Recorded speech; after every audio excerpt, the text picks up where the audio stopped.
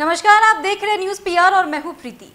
वक्त हो चला है बिहार फटाफट की खबरों का तो बढ़ते हैं अपनी पहली खबर की तरफ़। जेडीयू विधायक गोपाल मंडल का नया वीडियो आया सामने। भागलपुर में एक शादी समारोह में गए और कुर्ता उठाकर डांस करने लगे। अब ये वीडियो सोशल मीडिया पर वायरल हो गया। बिहार के 10 जिलों में गरज के साथ बारिश का अलर्ट हुआ। जारी 5 मई से बदल जाएगा मौसम। तीन दिनों बाद प्रदेश के तापमान में वृद्धि होगी। बिहार में हुई एक अनोखी शादी। 36 इंच के कद का दूल्हा और 34 इंच की दुल्हन थी। बिना निमंत्रण जुट गए हज़ारों लोग इस शादी को देखने।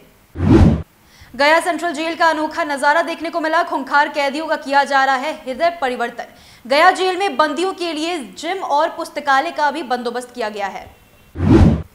भागलपुर के सुल्तानगंज रेफरल अस्पताल में जमकर हो रही है हेरा फेरी घूस मांगने का ऑडियो सोशल मीडिया पर हुआ वायरल।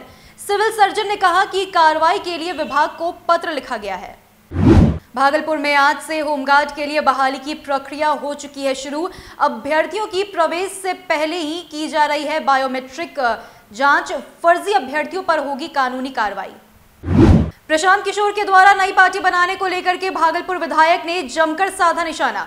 कहा, कई पार्टियाँ आती है और तुरंत बिखर जाती है। पीएमसीएच में नर्सिंग छात्राओं का बवाल, हॉस्टल को हाजीपुर शिफ्ट करने के खिलाफ किया प्रदर्शन। डॉक्टर और वाहनों का प्रवेश किया बाधित। नालंदा में कट्टा लहराते दिखा एक युवक, ताड़ी पीने को लेकर के दो गुटों में हुआ था विवाद, धमकी देने के दौरान फायरिंग भी की।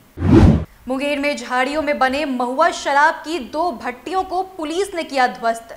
तस्कर बनाते थे तरह तरह के फ्लेवर युक्त शराब। तो आज के बिहार फटाफट की खबरों में इतना ही। आप बने रहे न्यूज़ पीआर के साथ और हमारे चैनल को सब्सक्राइब ज़रूर कर लें। धन्यवाद।